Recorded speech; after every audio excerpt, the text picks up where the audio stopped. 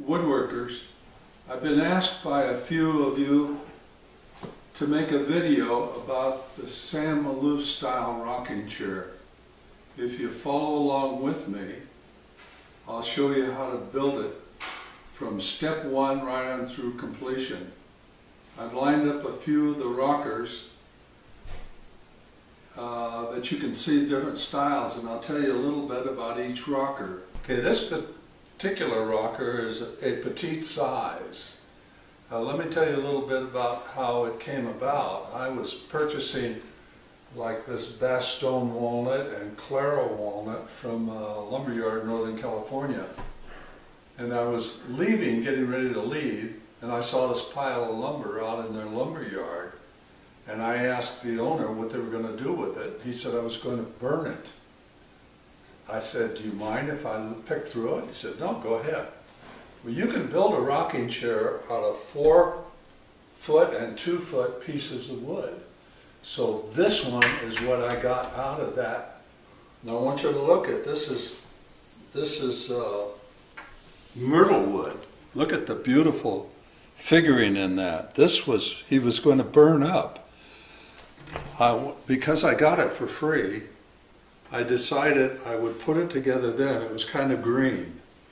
If you look at the seat, you'll notice the, you can see between the boards. The, the ivory I put in there were holidays and I just inlaid those with ivory. But between the boards, they separated a little bit. So to cover the separation, I just grooved between them. So it's hard to, to, uh, to realize that that wasn't on purpose. But I made it green on purpose. I made this about eight, nine years ago. Uh, it stood up pretty well.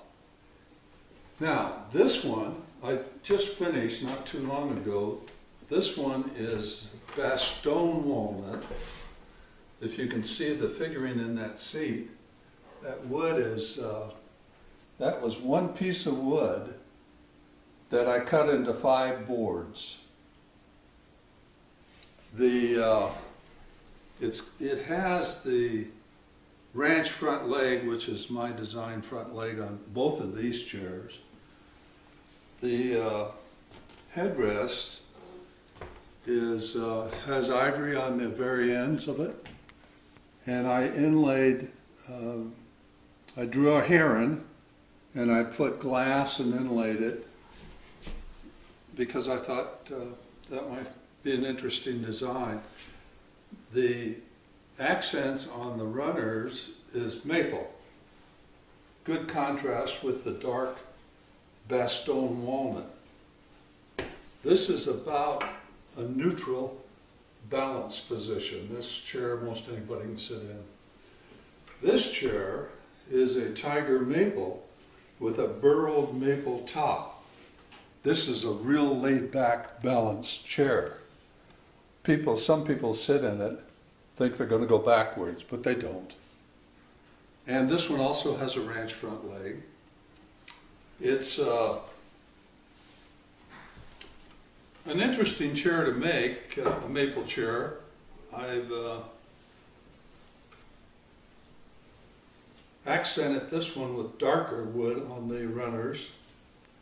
This chair is a Claro walnut chair.